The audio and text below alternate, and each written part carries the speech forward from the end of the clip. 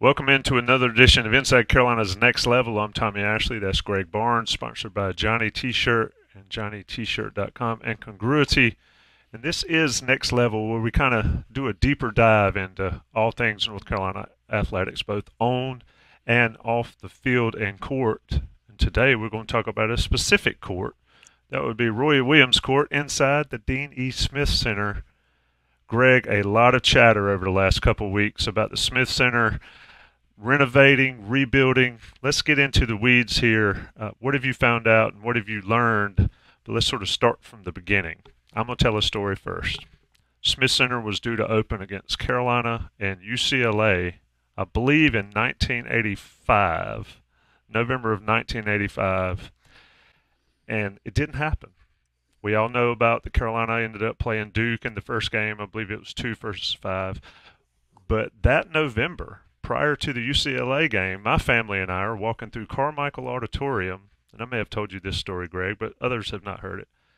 And we round the corner, and there stands Dean Smith standing outside his office in the old Carmichael Auditorium. It'll always be auditorium to me.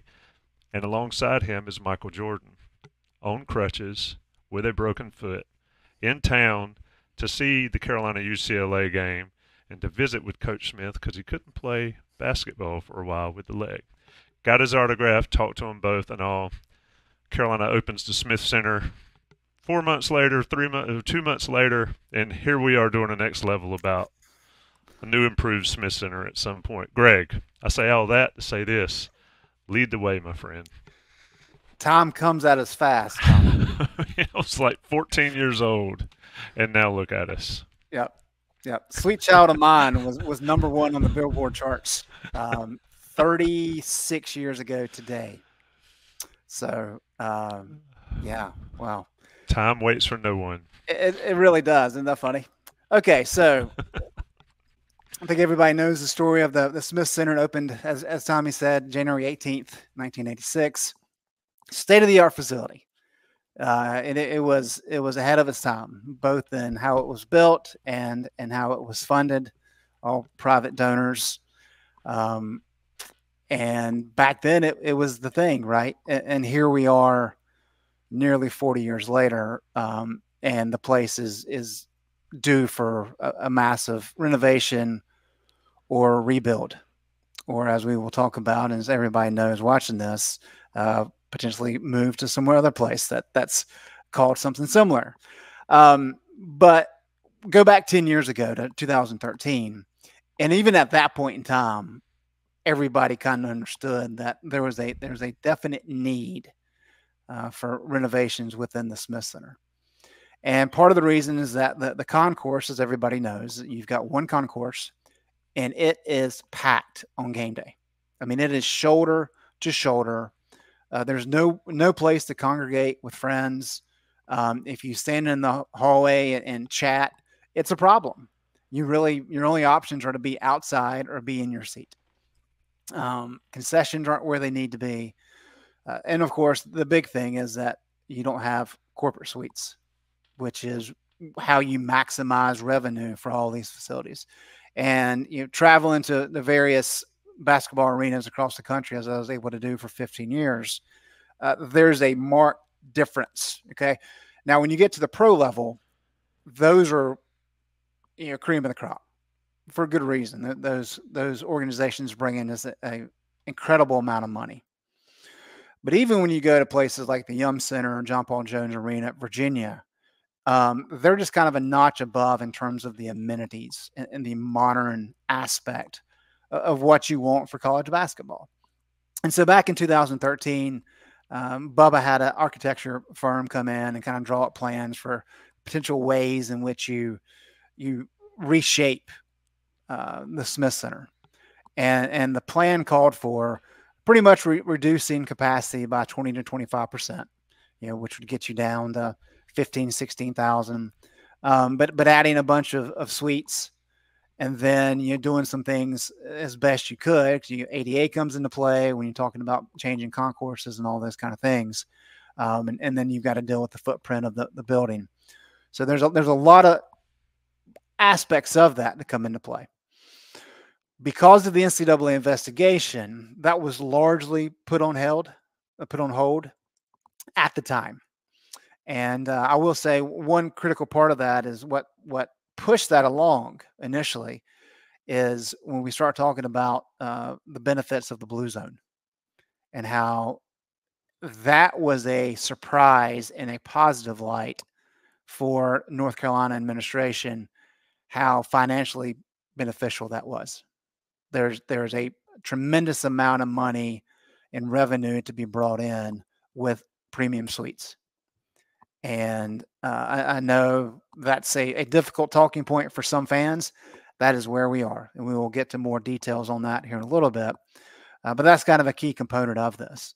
But as the NCAA investigation went along and AFAM uh, was having to be dealt with, North Carolina kind of shifted its focus. The Rams Club uh, used their their fundraising efforts to really do some tremendous work on campus for Olympic sports. Uh, you know, you got the the soccer and lacrosse stadium, the field hockey stadium. Karen Shelton's fantastic.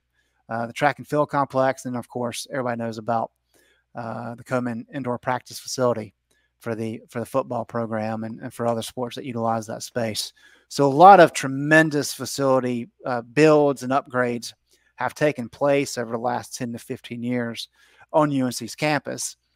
Um, but all along the way, in the back of everybody's mind has been the idea of okay, you know, the Smith Center, we've got to figure out something to do there.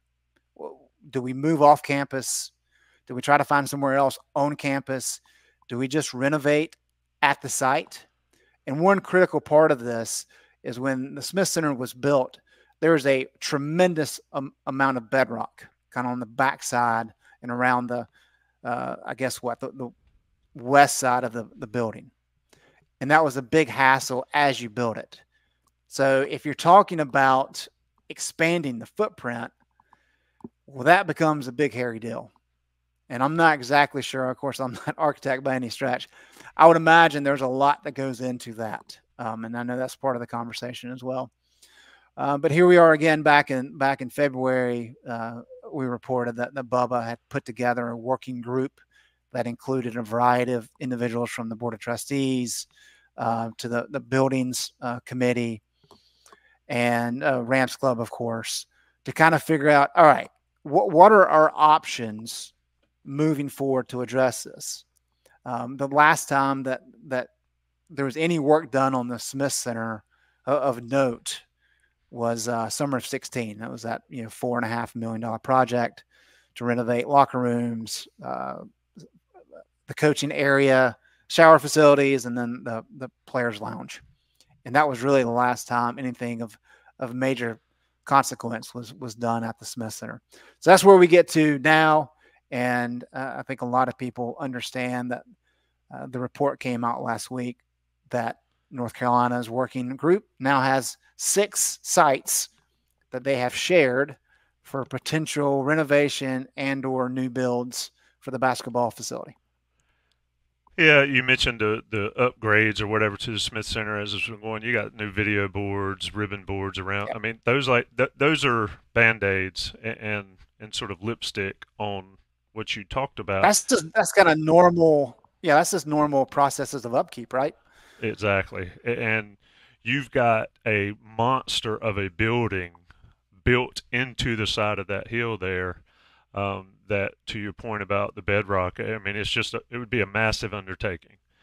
So, to your point there at the end, they've they've come up with six, I believe, six different options, like you said, um, to sort of make this a better, more friendly home for the Tar Heels.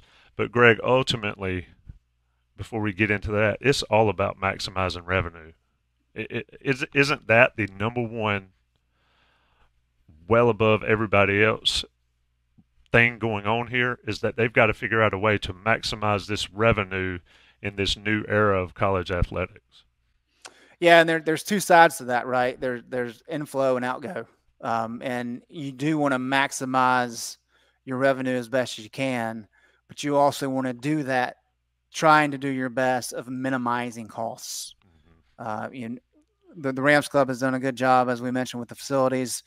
There's about a hundred million dollars um, in athletic uh, facility debt that the university is having to handle, and that's from a lot of these uh, builds that they've had. And of course, look, I mean, the interest rates have been so low prior to the last couple years.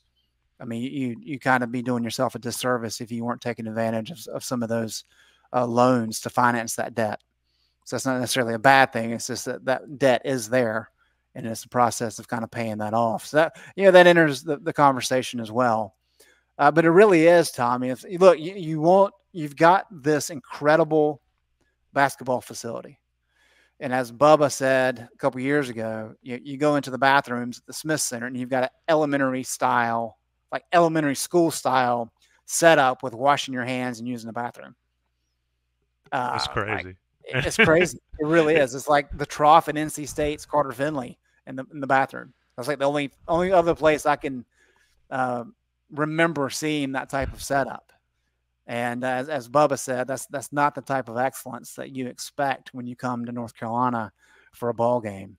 So so these are the types of things you, you have to upgrade that type of thing at a minimum.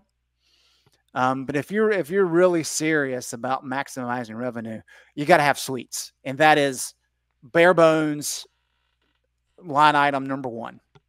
If you're not doing that, then you may as well just forget the rest of this conversation. That that is the the key ingredient here, because as I said, the blue zone uh, has been a significant success.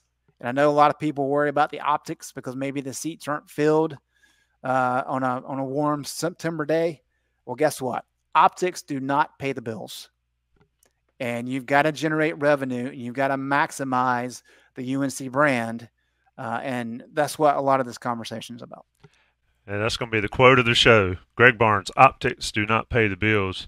When when I remember the Smith Center when it first opened, it had, I guess, quasi suites around the top, and they got rid of them to put more seats in there and, and to sort of open up the back of the lower level, so you get these, you know, double A, double B, C's, and D's seats up that are under the overhang.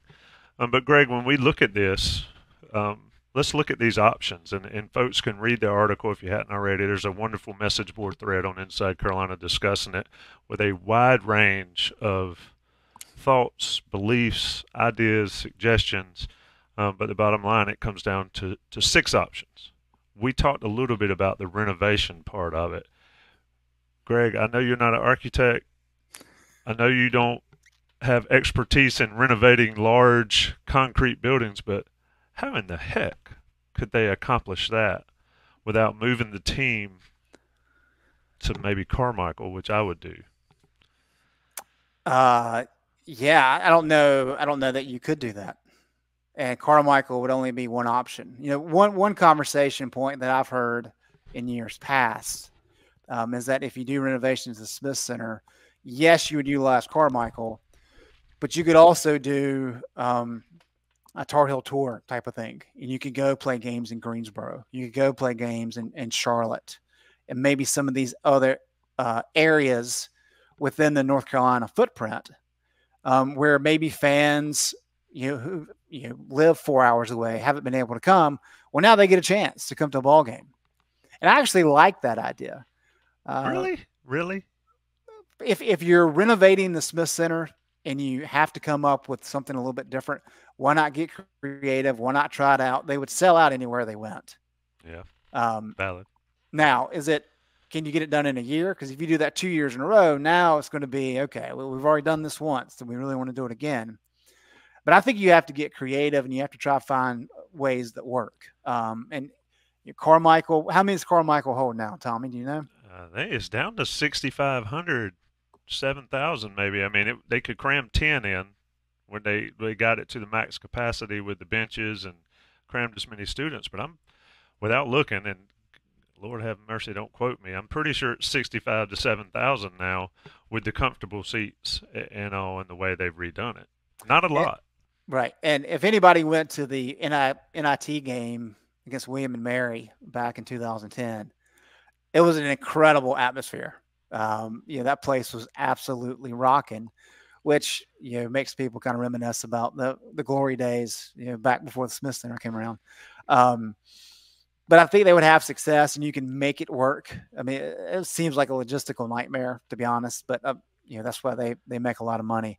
I will say this about the renovation process. Um, you know, Bubba really really kind of harped on what Dayton did um, with the flight deck. You know, of course, Dayton had some money from the NCAA because they signed the contract to be able to host the you know the initial games of the NCAA tournament there. But basically, what their flight deck is is they took out a whole end zone section on the upper level of their facility, and they've got this uh, platform that comes out over the lower level seats. And on that platform, they've got uh, just premium seats. They've got tables you can sit at. You can stand against the rail. You know, there's a bar up there. It's it's sweet. It's very very cool what they've done with that area, and that's kind of the the trendy thing now. Um, you know, I'll say this: my, my son's at Elon now, so the Schar Center at Elon's their basketball facility. It holds, I think, about six thousand as well. Carolina opened that facility for them back in 2018. So I was able to tour the, the facility at that point in time.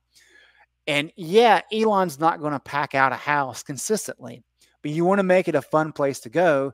And in the end zones above the seats, you've got all this space and they've got high top tables and they've got various drinks and food stations set up and you can kind of just meander. Um, and yeah, the diehards are going to be in their seat cheering the whole game, but there's a lot of people that want to come to a ball game and don't want to necessarily have to glue into every single second. They want to be able to enjoy the atmosphere in company with friends and those types of things. That type of stuff is important. And the Dean Dome, of course, does not have that. But the reason I bring up Dayton is uh, in order to do what they did, and they added, let's see here, 20, 244 premium seats. But one of the things that was required was expanding that footprint by 25% and that's going to be the catch for North Carolina is given the bedrock situation and given the natatoriums right there beside the Smith Center, can you increase your footprint to be able to do the things that you want to do? If you could do that cheaply, I don't think we would be having this conversation about a working group in other sites. Um, I, I think you would just sign up to do the renovation very quickly that way but I think you're limited with what the, the site is that you're working with, and that poses some of the problems.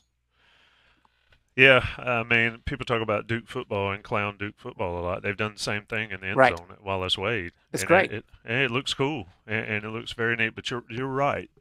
Physically being able to do that with the Smith Center um, it is next to impossible, but everything has a price, so they could get it done for a lot of money. I would put the team in Carmichael. I'd charge five hundred to a thousand bucks a ticket, since they're all about not wanting to lose ticket revenue, and it would still be full. Um, I went when they played Wofford, uh, when Cole Anthony was hurt, and Bacot had a bad game, and they lost to Wofford. Um, the last time I'd been in Carmichael for a game before that was back in the 80s before they moved to the Smith Center, and it was a pretty cool environment. Um, but anyway, Greg, and we I've got a lot of things I want to talk about here, and we're talking with Greg Barnes about Smith Center renovation slash moving slash how it fits in the new world. Um, they talked about Odom Village. They talked about the Bowles lot. Um, those type places, you, are still going to have the same type situation. You're going to upset the apple cart. I see on the Bowles, or excuse me, on the Odom Village thing, it conflicts with the current master plan of the campus just sort of walk us briefly through those those ideas there. Um, the Bowles obviously the best place to tailgate um, for football games. How could they make those situations work, given that there always seems to be construction on campus anyway, and now you're going to try to build build a 15, 16, 20,000 seat arena in one of the biggest open spaces on campus? Well, as you said, there's a lot of construction, and, and one of the, the main drivers of that construction is UNC hospitals, um, which is such a, a, pivotal point, not just in Chapel Hill, but but in this part of the state for sure. Um, and so I really think you know we're, we're talking about kind of uh, the message board part of it. I think people need to understand you've got a variety of groups uh, made up of, of influential people and fans who have just strong opinions about this thing. And some people, you know, we're not leaving the Deanie Smith Center. It's it's iconic. we're here to stay. We're going to renovate. There are other people who are like, you know what? We got to get off campus. We got to make use of some of the land we have up north. And you can do a fantastic site, you know, a Nike campus with retail and, you know, Chelsea uh, over in, in London. We, we toured that facility. They've got hotels, they've got a concert site, they've got restaurants, all in the footprint of the stadium. It's incredible. You could do that type of thing north of campus. And then you've got people are saying, you know what? We could probably stand uh, come up with a new arena. And maybe the Dean E. Smith Center's past its prime, but we don't want to leave campus. And one of the best parts about you know, University of North Carolina and attending the school is that as students, you can just walk to ball games.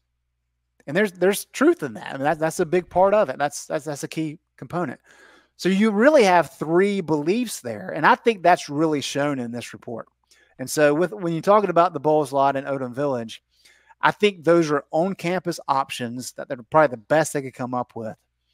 But to your point, with it being so close to the hospitals, and with it being right there at the Smith Center, and it's what Bowles lot, 620 parking spaces. You're close to the business school. I just don't see how either of those locations are, are feasible um, to make everybody happy. I, I, I, think those are probably the two um, less favorable options of all these. Really, and and and for for the reasons that you know we just discussed. I just think the the traffic's a problem. There's too much congestion there anyway. You don't want to disrupt the the Carolina hospitals. Um, you know, maybe I'm wrong. I just don't see those as being the the most likely options at this point in time. Yeah, I've watched them build the the parking deck back there in the Bowles lot, and they're working on the business school even further. Uh, my question the other day in Smith, we're at the ball game, was why why is that parking deck not 10, 12 stories high? Um, you know, go ahead and do that, and then maybe you could put the Smith Center there.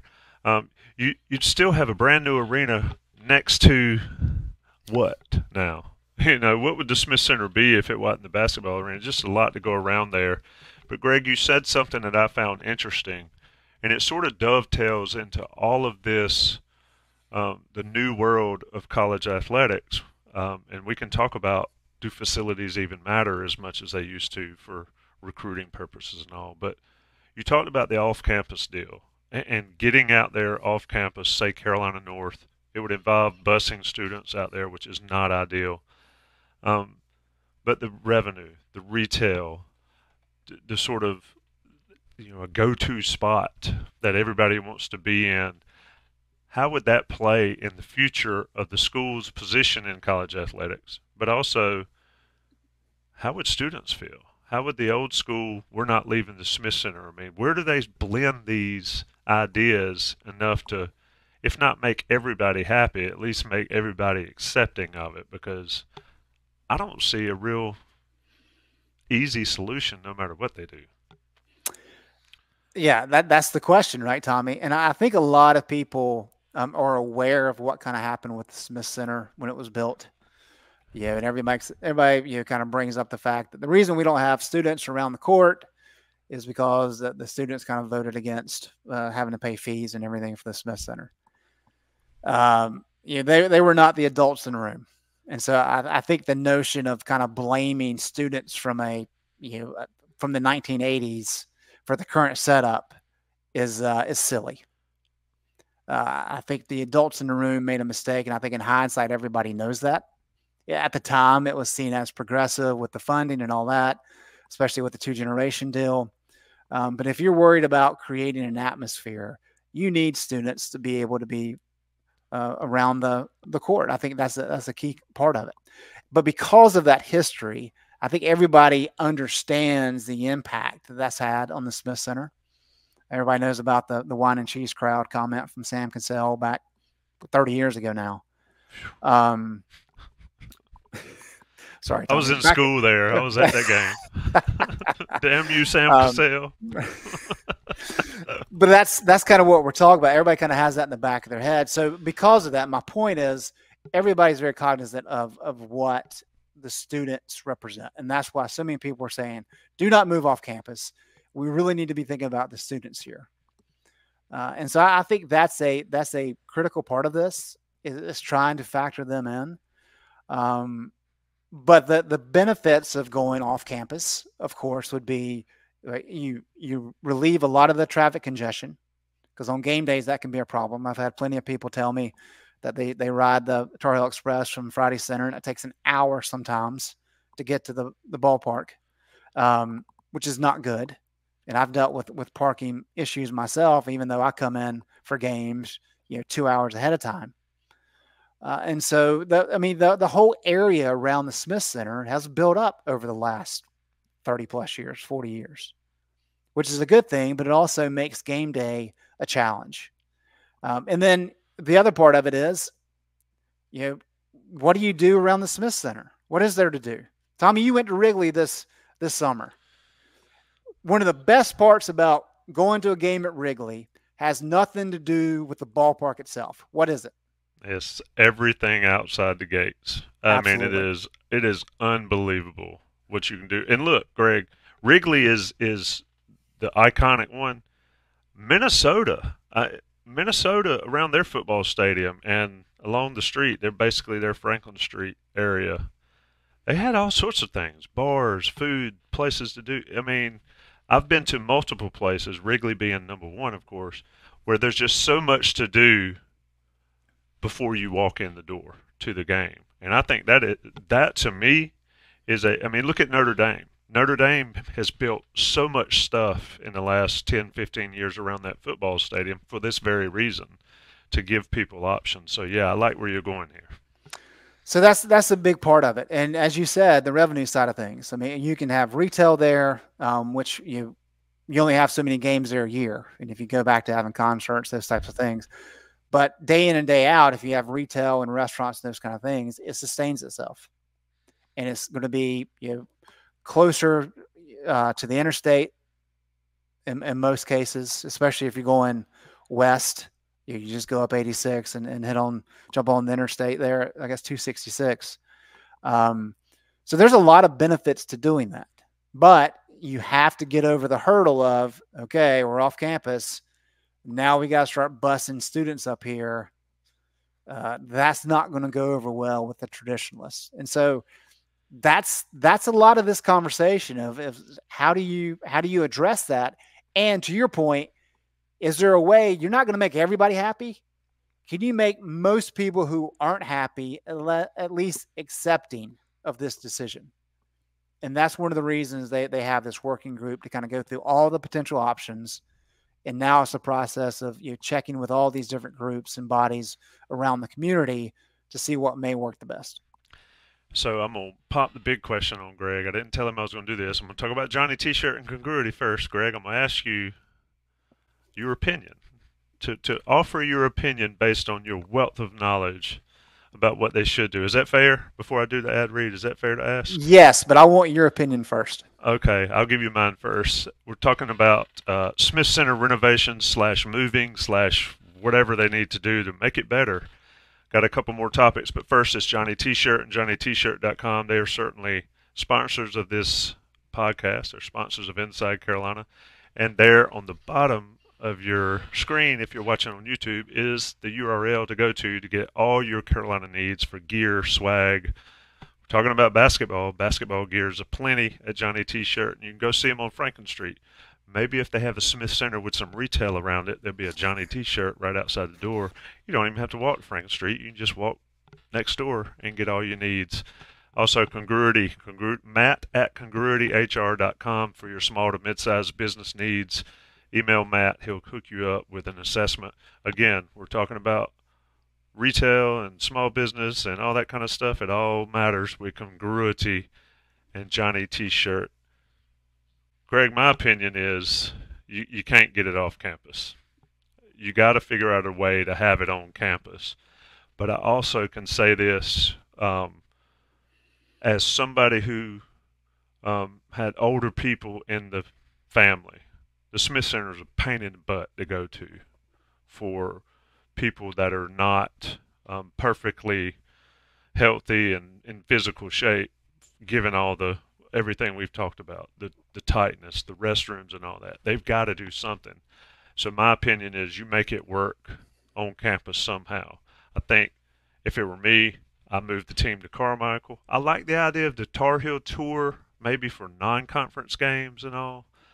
Um, but maybe in you know in January, February, and March, and you play in Carmichael, charge whatever you want to charge for tickets. They're going through the roof anyway. Um, I'd rather pay for the experience of Carmichael than sitting in paying 185 bucks sitting in nosebleeds in the Smith Center, um, which is where it's going. So figure out how to do that and spend the money to keep it on campus. I think that is of paramount importance for this university. It's what makes Carolina different than a lot of these other places, specifically one in West Raleigh, um, where the students have to bus, where the students have to get to the games somehow. It's interesting. We're talking about renovations. The Smith Center, the PNC or the Lenovo Center or whatever they're going to call it. It's going to be incredible when they get all those done. So that's my take. I don't. I do like the idea of having a big Nike arena on Carolina North with retail and a concert venue. I think that's a that's an awesome idea too for reasons we've talked about. Um, you sort of alleviate the congestion, the traffic, and all, but it's just it, it is contrary to I believe what Carolina's always been about of having the sports right there in the center of campus. So there's my opinion. When you're watching this, let us know on the message boards threads whose opinion you like best. Here comes Greg's. so let's let's do this. Uh, my personal opinion is different than what I think will happen. Um, okay, I, I am a I'm a proponent of of doing the uh, North Campus idea or uh, off campus, north of town. Uh, I, I, think you've already got a lot of parking um, availability up there. If they're not using the airport for anything, I think it's a, a, unique opportunity. And then you could repurpose the Smith Center for for a variety of things on campus. Um, now, I don't think that's what's going to happen, and, I, and I'll tell you why. What I think is going to happen is you're going to see a renovation of the of the Smith Center. Um, and we've talked a lot on this this show, Tommy, over the over the last year or so about conference realignment, um, about everything that's transpiring with NIL and the transfer portal. And all of this stuff goes together. And I think people need to start thinking about renovations and coaching salaries all in the same bucket because that's what it is. Um, a little bit of background, and we've gone over this before, but I want to bring it up again just so people kind of understand. If you go all the way back to 2000, when you start talking about conference payouts, the ACC had the largest per school distribution at 8.1 million. Um, you know, we're talking about the SECs could be reaching 100 million by the end of the decade. So, just an incredible amount of money driven by football has come into college athletics in recent years.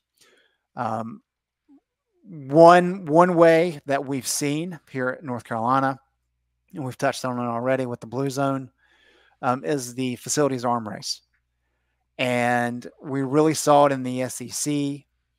Uh, but like Clemson built an incredible facility, and they've got the big slide, and every step along the way, it seemed like every year for two decades, one of the top schools was unveiling this new football facility or basketball arena that was just a little bit better than their competitors. And we saw it year in and year out. And it was just incredible. Why did they do that? As the TV money came in, we were not yet at a point of NIL. You were not paying players whatsoever. And so this money was coming in, and the schools had to figure out a way that they could recruit better than their opponent. And so you start putting high end, elite facilities on campus. So when kids come in on the recruiting visits, they're wowed about how impressive everything is. That drove the ship for a number of years. And then when everybody started to kind of get to where they needed to be with facilities, well, then what happens?